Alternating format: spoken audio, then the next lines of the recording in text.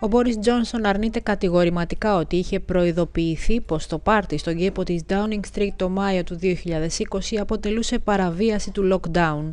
Ο Βρετανός Πρωθυπουργός δέχεται έντονες πιέσεις να παραιτηθεί, ακόμα και από στελέχη των συντηρητικών, μετά τις αποκαλύψεις για μια σειρά από εκδηλώσεις που ο τύπος αποκαλεί πλέον Partygate.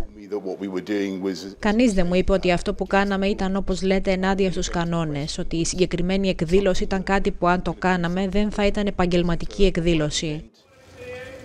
Ο πρώην συνεργάτης του Τζόνσον, Dominic Cummings, δήλωσε πρόθυμος να καταθέσει ενόρκως ότι ο Πρωθυπουργός είχε προειδοποιηθεί πως το πάρτι θα παραβίαζε τους περιορισμούς του κορονοϊού.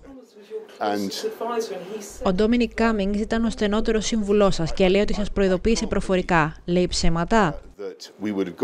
Δεν πιστεύω ότι θα είχαμε προχωρήσει με μια εκδήλωση που κάποιοι έλεγαν ότι ήταν ενάντια στους κανόνες ή ενάντια σε αυτά που λέγαμε στους πολίτες να κάνουν.